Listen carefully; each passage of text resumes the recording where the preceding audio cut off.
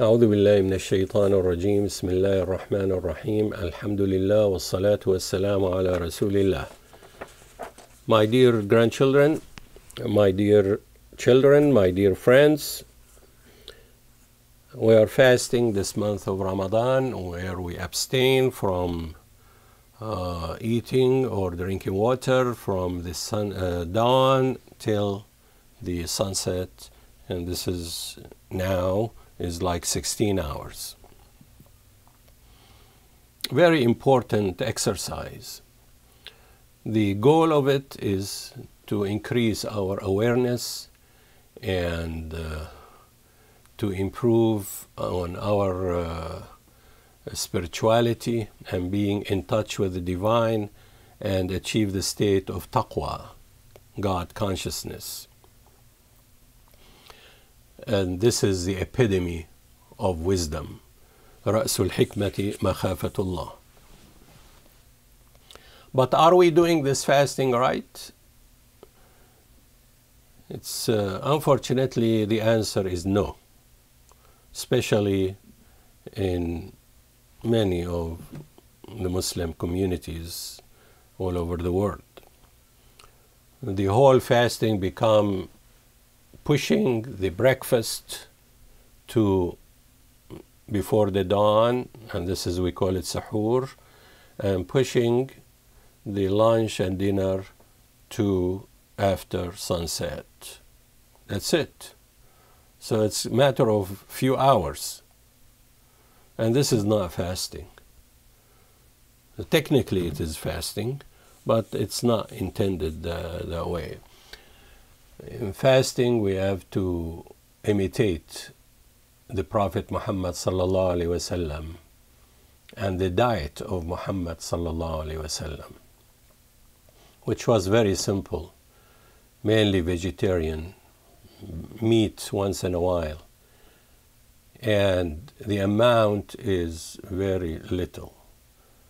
The diet of Muhammad sallallahu alaihi wasallam nowadays is followed the most by billionaires who have personal trainers and dietitians, and you find on their dish one olive and one carrot, and and they watch him, and he's not allowed to eat anything beyond that. The movie stars, Hollywood, where their body and image and look is so important, that's their capital. You find them rarely eat except when hunger bite their stomach, few bites. This is the diet of Muhammad wasallam, which is followed by the rich and famous nowadays and the billionaires and the important people. That's why you see them slim, upright, flat belly. This is what the Muslim should be.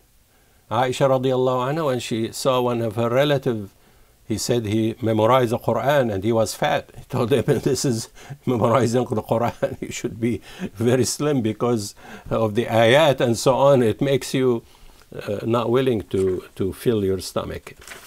At any rate, the Prophet Muhammad told us that the worst thing you can do is to fill your stomach with food.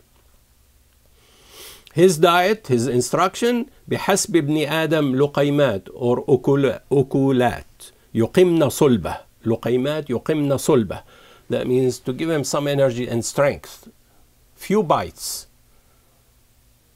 But if he's his job require more energy and so on and or he cannot فإن كان لابد فاعلا فثلث لطعامه وثلث لشرابه وثلث لنفسه So if you really want to eat, just fill one third of your stomach with food. So you leave the table and you're hungry. You don't leave the table and you are, the food is up to your throat. And one third for the liquids you drink of orange juice or water or soft drinks and the upper third should be empty. So the diaphragm can, when we breathe, what, how do we breathe? How the air is sucked in this lung. It is by the diaphragm, it goes down like a piston of a syringe, so the air goes in. So the diaphragm is above the stomach. So if the stomach is full, diaphragm cannot go down as should be, then you feel you are suffocating. That's why he tells you, Oh, I cannot eat anymore. I can't breathe. So we need to take the advice of the Prophet Muhammad sallallahu alaihi wasallam and drink uh, and eat uh, modestly. And uh, Allah subhanahu wa ta'ala does not like us to fill our stomachs وَكُلُوا وَاشْرَبُوا وَلَا تُسْرِفُوا Do not exceed. You know, virtue is in the middle ground of between two vices. To starve is bad, as we see the pictures coming from all over the world. Children are starving, bone and skin. And what we call it tukhama, which means to be, you know, gluttonous and overweight, obese, with BMI above 25. So these are two evils.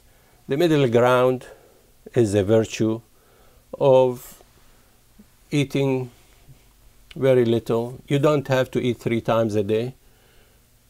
And like cows and so on, they feed them three times so they can build their muscles and their bodies so they can take them to slaughter. If we do like what the cows and pigs do, pigging out, uh, we will face another. Nobody will take us to slaughter us, but we kill ourselves. We drown ourselves in fat and oil and, and heart attacks and strokes and metabolic syndrome and diabetes. And this is what happened in the Muslim, Muslim world, especially the affluent countries. They are killing themselves, they are drowning themselves. So we need to train ourselves to change habits. It takes 21 days to change your habit. So Ramadan is 30 days. So inshallah we will eat few bites in the morning and few bites in the evening and that's more than enough.